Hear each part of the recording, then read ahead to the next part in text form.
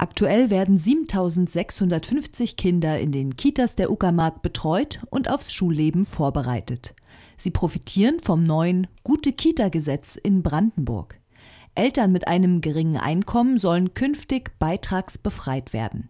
Dazu zählen Empfänger von Sozialleistungen oder Eltern, die weniger als 20.000 Euro netto jährlich verdienen.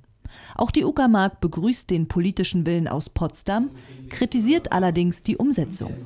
Die Beitragsbefreiung sei gut gemeint, aber nicht ausfinanziert. Die Kitas erhalten pro beitragsbefreitem Kind von Bund und Land lediglich eine Pauschale von 12,50 Euro pro Monat, anstatt wie früher einen deutlich höheren Ausgleichsbeitrag um die 40 Euro vom örtlichen Träger der Jugendhilfe. Die Kindertagesstätten befürchten nun deutliche Umsatzeinbußen und erhebliche Belastungen. Die Kreisverwaltung will in die Bresche springen und im Kreistag eine Beschlussvorlage zu ergänzenden Zahlungen einbringen.